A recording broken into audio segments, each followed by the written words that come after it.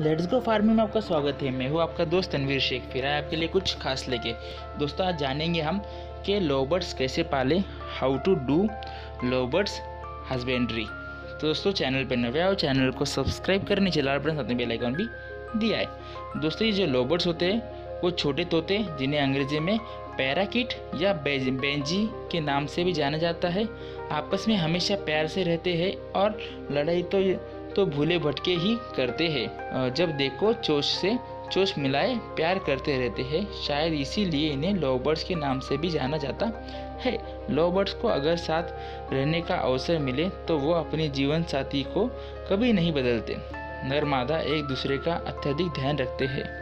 एक साल से अधिक आयु होने जाने पर एक मादा छः से आठ अंडे देती है। मादा अंडे अंडे को अठारह से बीस दिन तक सेती है।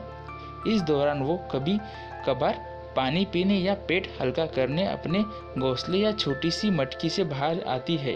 अंडे के सेना तपस्या करने के समान ही है। सब अंडों से बच्चे निकलने में भी आठ से दस दिन और लग जाते हैं। बच्चों की आँखें करीब पंद्रह दिनों बाद खुलती है। लगभग एक महीने से ऊपर मादा को उसके घोंसले में ही खाना खिलाने की ज़िम्मेदारी नर बखूबी निभाते हैं। मादा नर से मिला खाना बच्चों के जोश में डालकर उनका पेट भरती है।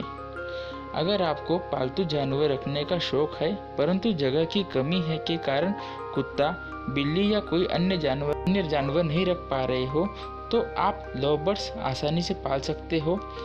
तोते या मैना जिस, जिस पिंजरे को कैद समझते हैं और इसमें हमेशा दुखी रहते हैं परंतु लवबर्ड्स ऐसे पिंजरे में जिसमें जिसमें थोड़ा बहुत खुदक फुदक और उड़ सकते हो। मैं भी हरदम खुश रहते हैं। जब तक अंधेरा न हो तब तक अपनी मीठी बोली में चहचहाते रहते हैं, जिसको सुन मन खुश रहता है। साथ ही हैरानी होती है कि छोटे से पंछी अकेले रहते हुए भी जोड़ा बनाने और अपने बच्चे की देखभाल करना कहाँ से और कैसे सीख लेते हैं? शायद ये भगवान जिसे हम कुदरत भी कह सकते हैं के कारण ही संभव होता है। 25 घन फुट की पिंजरे में चार लवबर्ड्स पाले जा सकते हैं। उनके पिंजरे में दो या तीन डालियाँ या लकड़ियाँ, उनके बैठने के लिए छोटी सी दो मटकियाँ, उनके परिवार बढ़ाने के लिए और छोटा सा मिट्टी का घसोरा उनके पानी के लिए रखना अवश्य होता है। इनके पीने का पानी को प्रतिदिन बदल देना चाहिए। कच्चा भुट्टा, हरा धनिया, कटे फल और मोटा पिसा मक्का या बाजरा खा लेते हैं। हरी घास, मीठी तुलसी और चुलाई के बीजों को भी ये खुश होकर खाते हैं। बाज़ार से पालतू जानवर रखने वाले दुकानों से इनके लिए विशेष दाना भी लिया जा सकता है, जिसे राला वगैरह कहते हैं।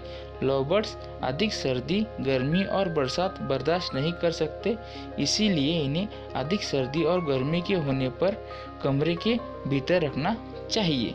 लवबर्ड छोटे से परिंदे से हम इंसान काफ़ी कुछ काफ़ी काफ़ी कुछ सीख सकते हैं। जैसे हर समय खुश रहना, आपस में मिलजुल कर रहना, अपनी पारिवारिक ज़िम्मेदारी को माता पिता द्वारा मिलजुल कर खुशी खुशी निभाना और बच्चों की तब तक ही चिंता करना जब तक वो अंतिम निर्भय नहीं हो जाते। तो दोस्तों, आज को आज हमने बहुत कुछ सीखा लवबर्ड्स के बारे में। ऐसे ही प्यारी प्यारी वीडियो आपके लिए लाते रहे थे। तो चैनल पर नवे आओ, चैनल को सब्सक्राइब ज़रूर करें दोस्तों। Thanks for watching let's go में आपका स्वागत है। थैंक्स फॉर वॉचिंग दोस्तों।